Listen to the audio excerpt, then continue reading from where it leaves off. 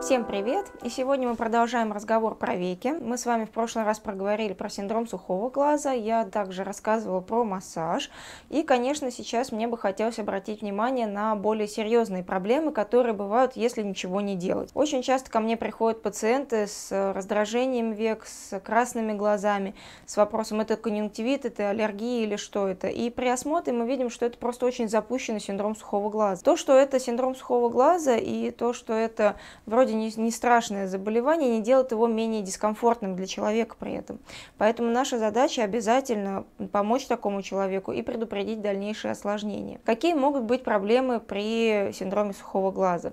В первую очередь это дисфункция мейбомиевых желез. То есть у нас мейбомиевые железы работают настолько плохо, что не выделяют нормальное количество секрета, или он слишком вязкий, он застаивается э, в водных протоках и развивается мейбомиид. Особенно если туда присоединяется вторичная инфекция. В такой ситуации нам надо лечить уже более тяжелое состояние, не, не просто дисфункцию, а воспаление. Чем опасно воспаление? Э, это присоединение вторичной инфекции, это воспалительный очаг, который может развиваться дальше. В своей практике я не раз видела, как обычный халязион, который можно полечить местно, можно полечить местными каплями, мазями, начинает э, развиваться еще большее воспаление, становится абсцедирующим халязион, дальше перерастает в абсцесс века, его надо уже вскрывать. Конечно, до этого доводить нельзя. Как правило, такие проблемы есть у людей, у которых есть какое-то сопутствующее заболевание. Это могут быть пожилые люди с сахарным диабетом, это могут быть э, дети со сниженным иммунитетом, это может быть, в принципе, какое-то состояние после тяжелого тяжелого, тяжелой болезни, когда иммунитет снижен, и поэтому садятся дополнительные проблемы, в том числе вторичные инфекции. Что мы можем с этим сделать? Я всегда говорю, что такие вещи лечить самостоятельно нельзя, самолечением заниматься опасно, поэтому первая моя рекомендация всегда это идите к доктору.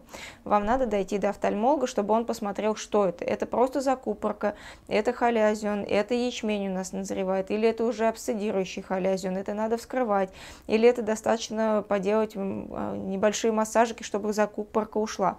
И это все будет решать на приеме врач. Как это обычно выглядит? А, если у нас краевой мейбомиит, у нас край века будет красный, у нас будут такие белые точечки, их можно самостоятельно даже увидеть по краю век, вот, и будет дискомфорт, будет ощущение сухости, дискомфорта. Справляться с такой дисфункцией мейбомиевой железы можно просто массажем.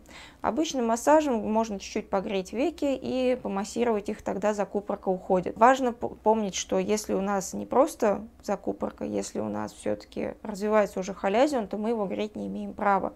Да и массировать его по большому счету счету не получается. Иногда бывает так, что местное лечение в виде капель, в виде антибактериальных мазей, оно не сильно помогает, и тогда делают даже укол в непосредственно в халязион, укол э, этих веществ, в частности, противовоспалительных, в частности дипроспан. Дипроспан можно уколоть в халязион, тогда довольно быстро снимается воспаление. Но это не отменяет местного лечения.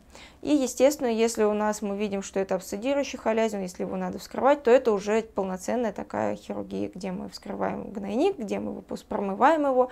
А вот. Дальше антибиотикотерапия, иногда системные антибиотики надо принимать, поскольку местно уже недостаточно работает. Вот. И, конечно, это все надо следить за этим обязательно. Обращайтесь к доктору. То есть не делайте это сами, не пытайтесь выдавить вот этот прыщик на веки, вы сделаете только хуже. Может получиться так, что гной, который содержится в этой воспалившейся железе, прорвется просто в ткани века, и мы получим более тяжелое осложнение, которое лечить будет долго и неприятно. Поэтому не забывайте ухаживать за собой, любите себя, обращайтесь вовремя к врачу и будьте здоровы.